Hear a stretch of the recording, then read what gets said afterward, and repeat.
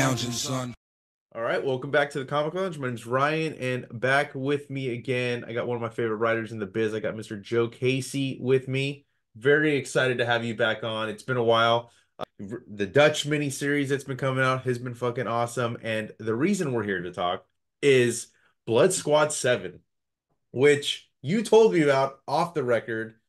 I I'm thinking it's been about a year. I Yeah. maybe give or take. Um, so Yeah. I'm so excited to finally be able to talk with you about it. I read the first two issues that you sent me, which by the way, thank you for sending those to me. Uh, I can't wait to read them in uh, physical form, but they were awesome, and um, I just can't wait to talk to you about this book, man. Let's do it, man. This is the time has come. Yes. So first off, I know you wrote a big editorial in the back, but I'm not even gonna like pick that apart yet. Um, but why this book? It makes sense to me why you're writing this book. Why now? What was the decision behind uh, doing this title? Well, when we did the Dutch story in the Image Anthology, to make it work with the new unfortunate legal situation with Youngblood, that somebody else owns it, it's not part of Image Comics anymore, that we had to fill in all the backstory to make the Dutch story in the present have some resonance, have some uh, gravitas, and it not just seem completely like we were ignoring his history for legal purposes. So I had to come up with this whole Blood Squad 7 thing to replace the young blood hole that was left. Once I did that, I had all this material. I was really digging on it because there's a few other characters that were not owned by Rob that we had access to. Infinity, Ripcord, Enigma. They're, they're, those are all old characters that Eric Stephenson and his uh, collaborators owned. Mhm. So we had the, the the foundation of of this concept. I was thinking about it. I was like, you know, it's been a it's been a while since that image shared universe that the founders came up with was a thing. I mean, it was really tight in the beginning, and then after about uh, two three years, everybody kind of split off and went in their own directions. And then people would leave the company, and people would get kicked out of the company and come back, and whatever happened, that shared universe concept was never really uh, addressed again you know, and, and not in that way. And I feel like there's a whole generation of, of readers who really invested in that continuity and really were into it. That was their shared universe, maybe the first one that they saw from the ground up. Mm-hmm. And I just had this notion that, well, maybe those those readers are still out there and, and would like to revisit that 30 years later. So that's that's kind of where the whole idea started. And then from there, it was just a snowball effect of oh and this could happen and we could do this and we could do these flashbacks and we could you know just really dive into the concept. Because it's not i mean as you've seen now it's not a 90s throwback comic. It's not a pastiche. It's not a, we're not trying to recreate some extreme comic from 1993 it takes place in 2024 it's got modern sensibility. It's a mature reader's comic.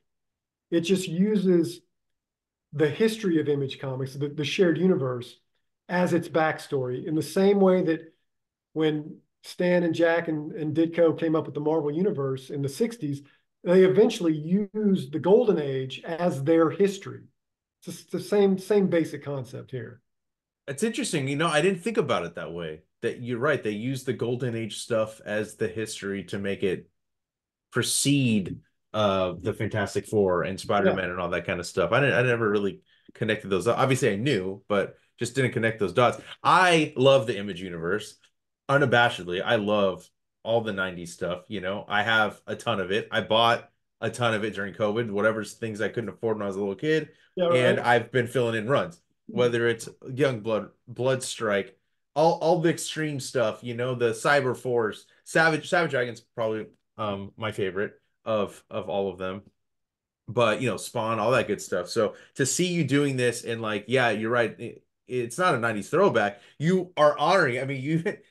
There was uh, I think it was it, yeah, it was it issue one, right? Issue one with the with the action figures, and Yeah. you call out Todd's toys. I love Oh, yeah. I love that, dude. That was awesome. That's Yeah. like a deep cut. Not everybody necessarily would know what that is, but for the people that grew up in the 90s, you know, like that was a nice little thing you threw out there for them. Yeah, there's a lot of Easter eggs. There's a lot, I mean, because as a writer, I just love doing that because it's fun, it informs the world. It it not that it weeds out the the the, the uh, certain readers, but I mean, I want readers like you who were there and remember that stuff to know that I got my eye on you. We're going to honor that stuff. It means something. It was not just three or four years of throwaway comics. Now we're going to treat it with the perspective and and and the and the gravitas it deserves because it's history now. So how are you? Like you said, some of the characters, obviously Dutch, Infinity, or Ripcord, you're able to use that those characters, so you can weave those in. So there are, are not everything is completely being reworked. How are you kind of juggling that and like coming up with you know the analogs so to speak of the original members of youngblood? That's that's part of filling in the history of, of the of the blood squad 7 concept. As it goes on i mean you see in there's the flashback in issue number two. Two is dope yeah. To, to dragon number three where dragon fights you know badrock from youngblood mm-hmm. well in our version it's blockhead from blood squad 7 those and you see there's you know Tachi and uh, and uh, Manowar. Those those are the uh, easy analogies to to make as you see them in the scene. But it, it it goes pretty deep. There's a whole lineup of Blood Squad Seven from 1992 that if you looked at them, for the most part, I think people could pick out who's who or who's mm-hmm. who's supposed to be who. But, I, but we treat it like this. You know, when when uh, and not to compare ourselves with this masterpiece, but most people know that Watchmen was based originally on the Charlton characters from mm-hmm. the 60s. Uh, Captain Atom, Blue Beetle, uh, The Question, Peacemaker, Nightshade. And they transformed into Dr. Manhattan, Rorschach, the comedian, Nite Owl, etc. I feel like we we've, we've basically done that riff, but instead of using the Charlton heroes as a template, we used Youngblood as a template. So to me, it's it's kind of fun because I've written Youngblood before. I have a lot of fondness for that concept and those characters. This is right now, in a way, the only way that you're going to get even a version of those characters with the legal situation the way it is. We want to make sure that even the analogous characters feel legit. You know, they're they're not just. It's not a gag. There there's three dimensionals in the other characters that are in the book. It's just that they had their heyday 30 years ago you know, the infinity, the infinity that's in the new Blood Squad 7 is the daughter of the original one. And uh, Ripcord is is several generations down in terms of the program. It's it's a whole thing.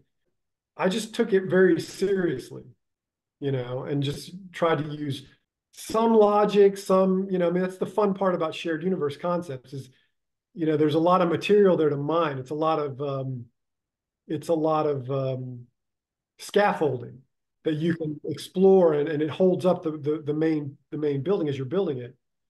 There'll be more flashbacks going forward. There's, I mean, Youngblood luckily showed up in a lot of early image comics. They showed up in Savage Dragon, in Wildcats, in Shadowhawk, you know, uh, so in Spawn. So you're going to see a lot of uh, those same kind of flashbacks that we put in issue two going forward. Oh, dude, I'm I'm stoked for that. I mean, how? First of all, have you talked to any of the I would imagine you have talked to the original creators because you have I'm sure you have to ask permission still to use like Dragon yeah. and stuff and stuff like that. Yeah. Um so are you I mean, first of all, I mean the obvious ones for me to ask are Chapel is tied to Spawn, but Chapel has been rewritten out, right? Is there something yeah. you're going to touch on with that? Um, and then you mentioned Wildcats. They also are not part of Image anymore, so they had to be rewritten out. Are you doing I mean, maybe this is too spoilery. Are you doing your own version of Wildcats too? No, well, in the case of the Wildcats flashback scene, we're just very clever with the shots that we pick.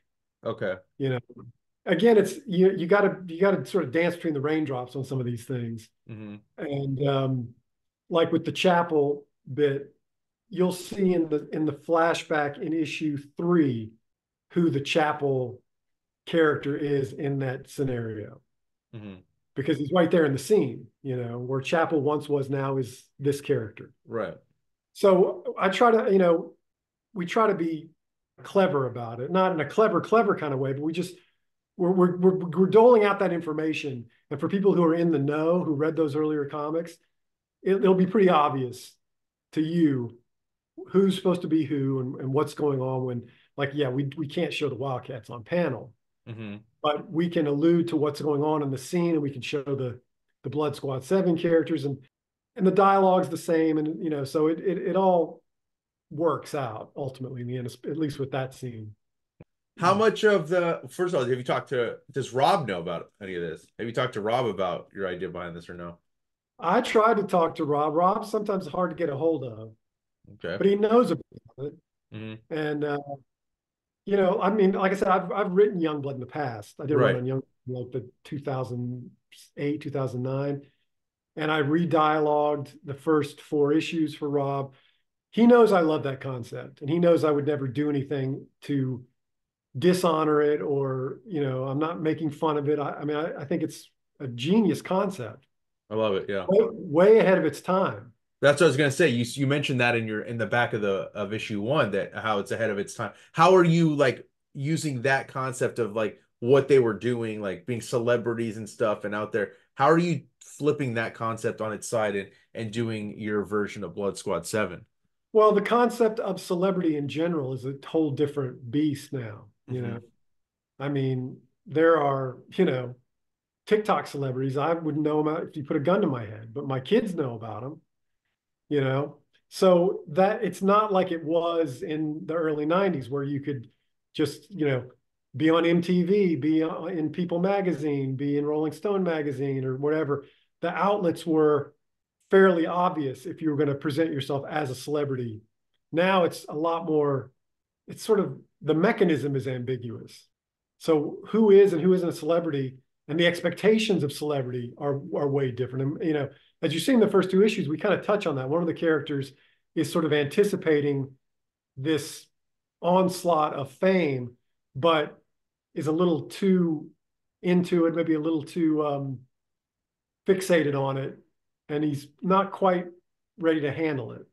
But he thinks he can, as everybody does, especially when you're younger and you think, oh man, it'd be great to be famous because I could do whatever I want. And you know, you have all these expectations. So we'll be exploring that pretty heavily. You know, the, the social not the social media aspect will not be it won't be like we won't lean on it too much, but just the the difference in celebrity culture is something we definitely will touch upon. Because you see in issue one, there's the action figure commercial, which is Yeah. from the 90s. And it's kind of quaint and kind of like, oh, look at that. It's it's definitely nostalgic. Mm-hmm.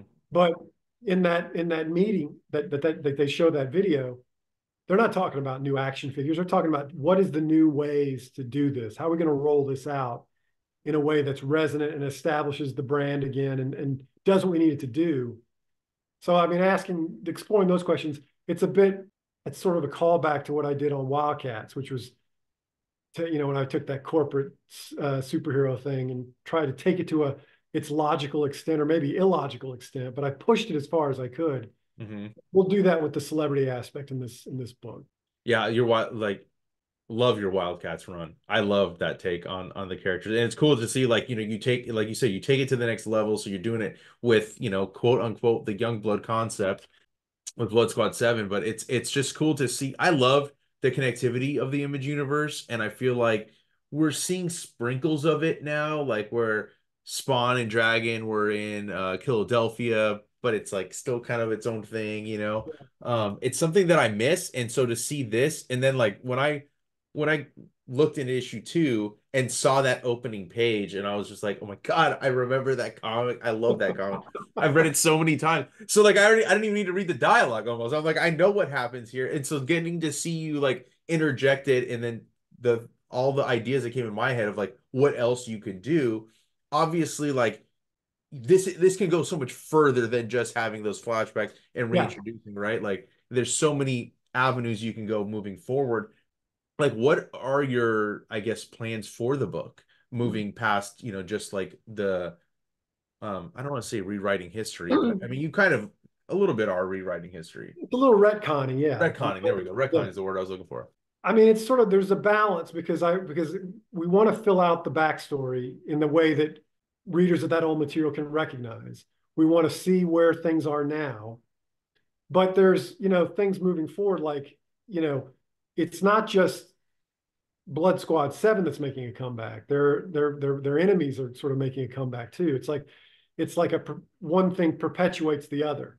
Mhm. It's that whole yin yang thing. Well, if the if the superheroes are coming back, then I guess the villains have to come back too. And as you see, also, in keeping with sort of the early Youngbloods, there's a bit of there's a kind of a political aspect of the book. You mm-hmm. know, I mean, the the action in the first issue all takes place in Ukraine.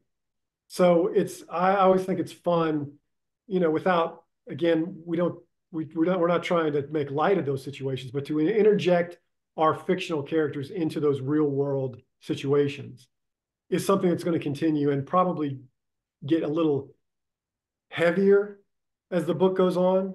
Because I it's again I'm, i want to stress to people this is not a, a gag book. This is I mean I, this is a serious sort of modern superhero comic book. To to give it that that gravitas that real world feel we're going to try to interact with the real world as much as possible. So it's what does a, a, a government sponsored superhero team do in the modern world? What is their what are their parameters? What's their jurisdiction? What is their mission? So we we we we start to see it from the first issue what the scope of it is what the kind of things they'll be doing. That'll that'll sort of grow in the in the future. And also the great thing about team books for me the, the thing i loved about team books was the interaction of the characters the characterization. And again I want to stress to, to, to anybody who's interested in this book, we're really giving these characters lives. We're trying to really dig deep and give them. I mean, the backstory is is part of it, but I'm really kind of been sort of as I get to know these characters, what you do as a writer when you when you write them, especially when you've created them, mm-hmm. which for all the modern characters, they're all sort of new, even if they're legacy characters. That you get to know them and you get to you, you dive deep into their their psyches and their personalities and so I want readers to take these characters into their hearts. I mean, I, I, want them to embrace them as characters and not just as, oh, this is a this is a funky, wacky concept, and let's see how this plays out. I wanted people to invest in these characters as much as they did when they were 12 years old and first reading Spawn and Dragon and Youngblood and Cyberforce and the way they invested there. I want to invest here, and I and I, I want to pay off that investment as much as possible. You know.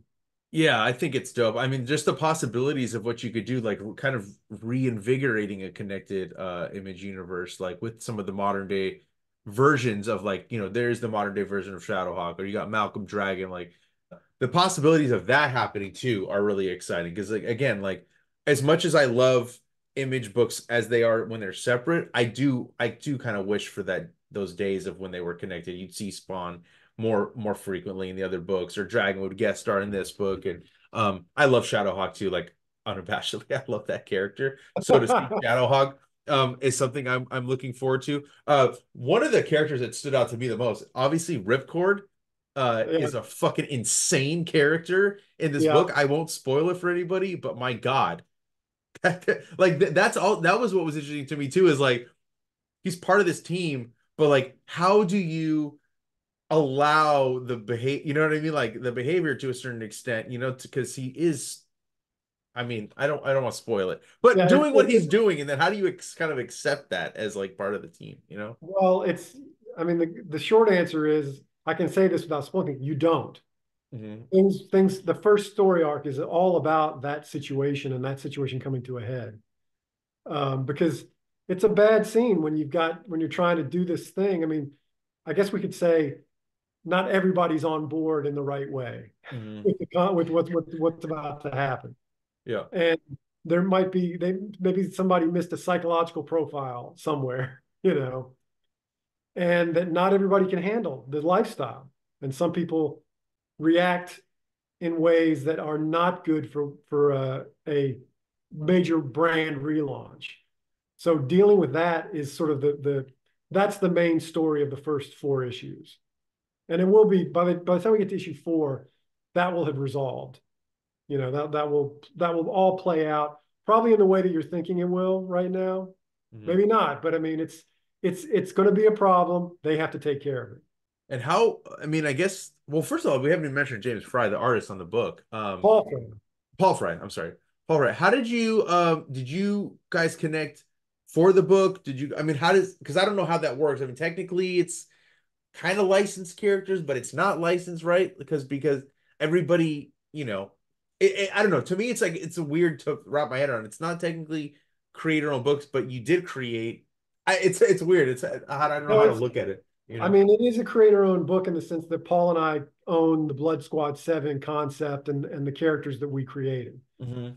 And the characters that we are borrowing, you just, in the, the great thing about Image is as long as you give everybody the credit and point out who owns who and, and what, you know, the copyright trademark situation and get permission, it's good to go. You know, it's how they did it in the beginning, you know. Mm. Paul, I found when I was scouting around for artists to do this book, I knew I wanted to, I had a certain style that I was looking for. So you kind of you just cast around who's out there. You know, I, I try to keep my ear to the ground when it comes to new artists. Paul had done some Spider-Man 2099 stuff with uh, a guy, a writer that I, I think we both know, Steve Orlando. Mhm. I've known Steve for 20 years now, I think. So it was easy to go, hey, Steve, you worked with this guy, Paul. He's great. What's his story? And he'd been, he'd been banging around a little bit. I'd done little, little things at DC and this little things at Marvel. But this is his first sort of ongoing gig. And he was chomping at the bit, man, because he's not, he's sort of a late bloomer. He's more of my generation in terms of age and, and fandom. So he got what, what I wanted to do right away. And so we sort of were very simpatico in the kind of book we wanted to do. I mean, I, I think his work speaks for itself. I mean, it's it's really really cool. It's of a it's of a, a certain uh, school, and I just happen to like that school. And I think it it's it sells superheroes in a way that's that leans into the realistic, but is not not totally realistic. I mean, it's not you know photorealist, but it it has it has that realistic edge that I think people want out of their modern superheroes right now. Yeah, I think I think he's fantastic. Um, I recognized the name. Um, I could just couldn't remember what book, but now you know, seeing the Spider-Man 29, now now I realize that that is probably where I saw his work first. Yeah. Um, how much of like, in terms of story wise, because like I, I mean, I'm assuming he was an Image fan too, early Image. So, um, how much of the collaboration are you guys come up with in terms of like creating these like new versions of these old characters and um who you guys may or may not want to include because you don't have to do everything that you know, Right. Bud did but like how are you picking and choosing all that stuff too are you guys doing that together we did it together in terms of design. I picked characters that I knew could serve story functions. Like like in issue two, there's that scene where sort of the the first Infinity is now the leader of the of the new Blood Squad Seven. It's a character named Erica Richmond. Mhm. And there's the scene where Erica is talking to the two alien races that were in Blood Squad 7 in the early 90s, much in the same way that Combat and Photon were part of Youngblood, but they were of warring races that somehow work together on the team. So those those characters served a function. So of course we needed the analogous versions of those. So that's kind of how we, I picked who we were going to do new versions of. mm-hmm. So yeah, so we left out a couple, but we used quite. I mean, we used quite a few of them. And so with Paul, the collaboration was really just the design process. What are they, what, what should they look like? How how recognizable, in or other words, how close should they be to the original characters that they're based on? And again, it goes back to the to the Watchmen Charlton thing. Mm-hmm. Look at those two sets of characters. You know who's who. You can pretty much. It's a one to one kind of thing yeah it's hopefully it's for the most part it's obvious who's who so we don't have to sort of bend over backwards going hey this is you know supposed to be so and so you you know it if you know the original characters Mm-hmm. Yeah, I think it's, I mean, yeah, for the most part, it's pretty obvious. Um, but I, I just, I, I really love the fact that you've found a way to bring Youngblood back without bringing Youngblood back. I just, I can't get over it. Like, it's such a great idea. I'm surprised. And it, to me, it's like you, you literally took Watchmen, like you just said, Watchmen and Image, and you smashed them together and you got your own version of it, which I think is brilliant. And it is like such a natural progression, you know, like to take something that was old and bring it back. And uh, that was about the same time frame, right? Oh, yeah. 30s, like it was like the 50 characters, 60s to the 80s. And now you're taking the 90s to the 2020s. yeah it's So- weird that we're we're we're kind of further away from the from the early image books than than the the um than than the than the golden age was from the silver age that was Mhm. only 20 years this has been 30 years uh, which I can't fucking believe it. yeah, I know. It makes me feel old when I when I think about it. So right, but that's but that's why we didn't want to do a pastiche book. We wanted to be a modern book that just took in all the history.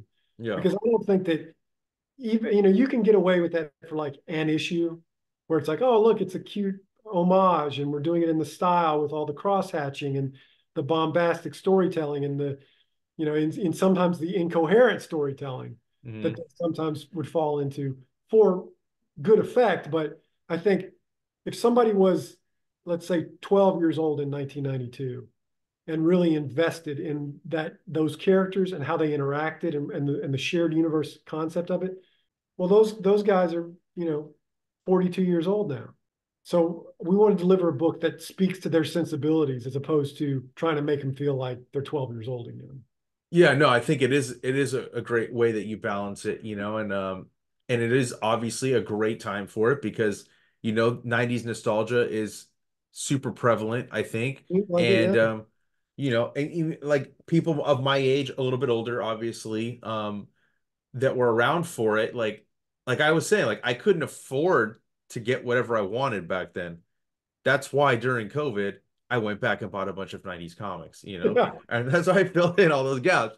And so it is cool to kind of see something in some way feeling like I'm rewarded for loving those comics by getting this new up, updated, you know, take on it and a modern take on it and, and including, you know, past versions. And um, I guess what I want to ask too is have you thought about like I don't know what your plans are in terms of like long-term plans with the book, but you could technically do like a one-off one shot or something set in the 90s where you not don't recreate the same mission or whatever that Youngblood did, but is that something that you've thought about like what are what are like some of the fun things that you kind of have uh, moving forward? I know you said four issue 4, so I'm assuming it's to be four issue arcs.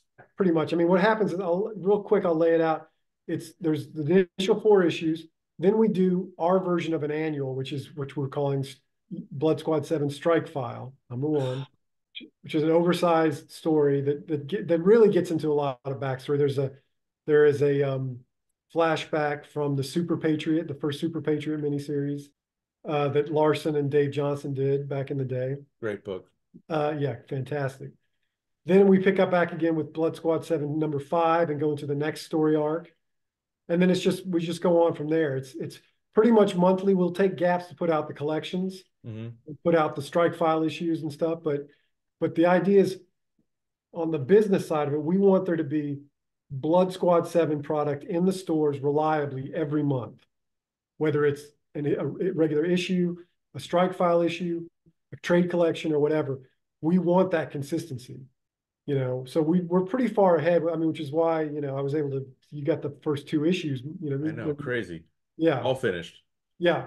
So uh but we feel like one thing we've heard retailers complain about is that things are not consistent on their racks you know whether it's books that take huge long years gaps or they're kind of maybe sick of the miniseries format to some degree because you can't there's, there's no long-term investment there. It's all short-term stuff.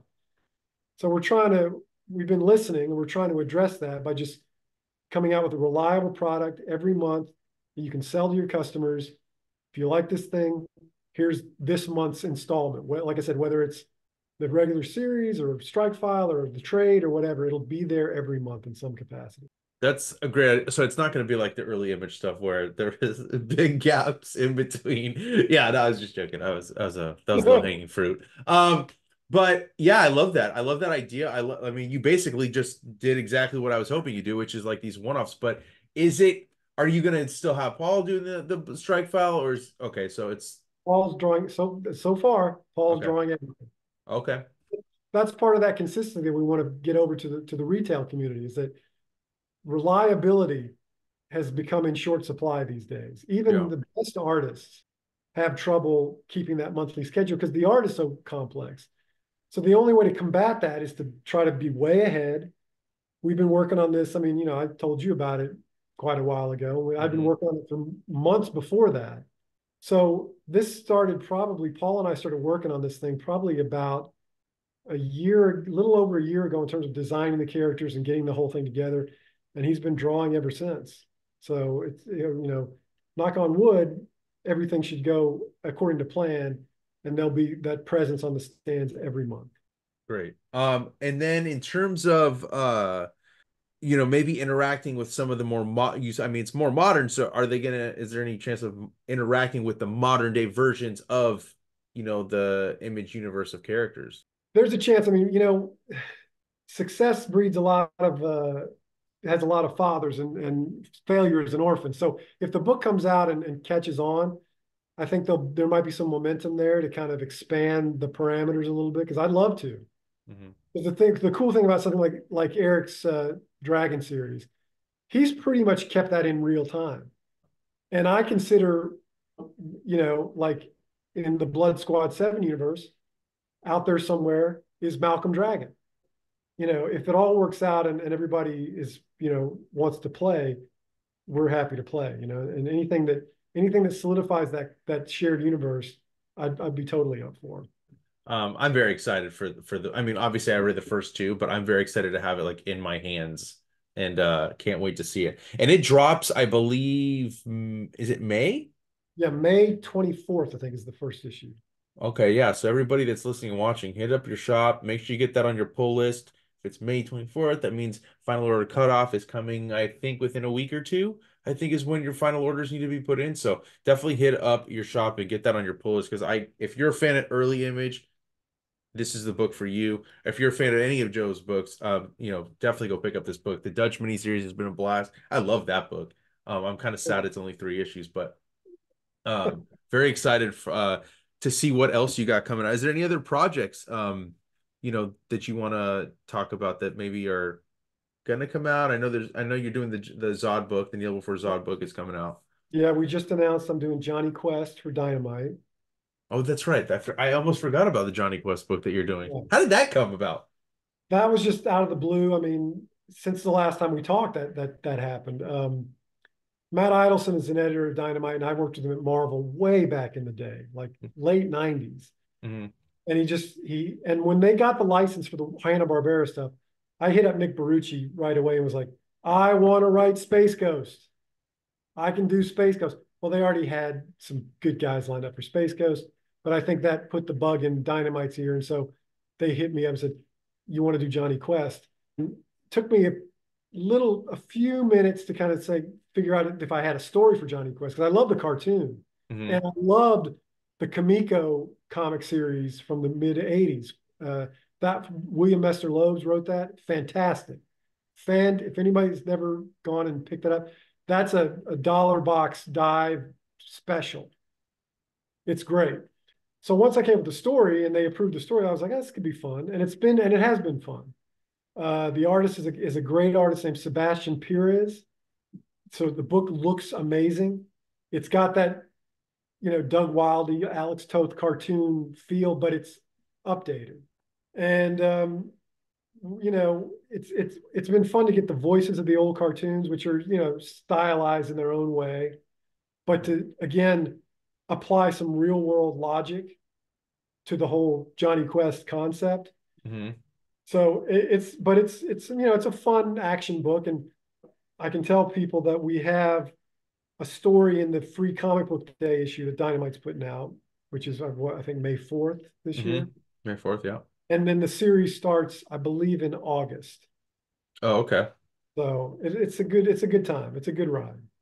And is it just a mini series, um, ongoing? What's what's the deal with that so far? Well, I'm writing, uh, including the um, the not including the free comic book day story. I'm doing five issues, so we'll see. I mean, it, it, I mean, it's I I tend to build these things to last. So whether or not it goes on with or without me, I, who knows? But it, it could go on indefinitely because it's the concept's strong and the what the, the setup that we're doing could go anywhere. I'm very excited about it. I, I, I can't believe I almost forgot to ask you about it too because I saw the presentation at Comics Pro this year and I was like, oh shit, you know, like that's awesome because I haven't even thought about Jonny Quest in the longest time. And then I saw you were attached, so the art looks does look amazing because yeah. we saw some of the unlettered pages. But yeah, very excited for that. Um, any um update on a book that I know about that the majority of the world doesn't know about? I'm I'm far I'm far away. It's it's it's far away still. Okay, all right, But all it's right. it- but it's happening. There are pages coming in. There's all I mean, we're we're it's the first issue is done. But that took 15 months. I But- can't wait for it. I, I hate that I hate that I can't talk about it with people too. Well worth it. Oh, dude, there's another book that's coming up that that that came up since you and I last talked that I can't talk about yet. That probably will be announced in the next three four months. That is going to fucking. I mean, it's like a fucking explosive grenade. Fucking the last thing you'd expect me to do, and I'm fucking doing it. Is it um Marvel DC? One of those? It is Marvel. Okay, all right. All right. I'm back. I'm back. It's like I'm back in comics full time. I now. know, man. That's what I'm saying, dude. Like for a minute, I was like, I was like, "Where's the new Joe Casey joint?" Now you got like everything. It's like you're you're everywhere. Your Yeah. Image, DC, your Marvel, Dynamite. Well, one thing, I mean, just like you were saying, during the pandemic, if anything, I, you know, I rediscovered my love of writing comics and particularly superhero comics. I just jumped back in with both feet. Now I'm now I'm just on fire, it feels like. I mean, every, everything is really cooking. And um, yeah, this this this this other thing that I that I just mentioned, I mean, it's unbelievable that it's happening. Yeah, I, I gotta know what it is. Um, well, I'm here for all of it, dude. I'm very excited. Blood Squad 7, go pick up that fucking book. It is amazing. It is so much fun to read. Go pick up the Dutch issues too, because I highly recommend those. Jonny Quest, I'm here for. Kneel Before Zod is with Dan McDaid has been awesome as well. So Oh, yeah, everybody go pick that up. Um, and uh, dude, I know I'm gonna want you back on again soon. So maybe creator commentary if you'd be down to go through issue one of Blood Squad 7. I've been doing that. Absolutely, man. So- definitely. Let's Hell it. yeah, dude. We'll do it once that once the physical copy comes out so we can flip through the actual pages. But um that that'd be a blast. And uh thank you for your time as always, man. Always forward to great to be here, Ryan. Thanks. Oh.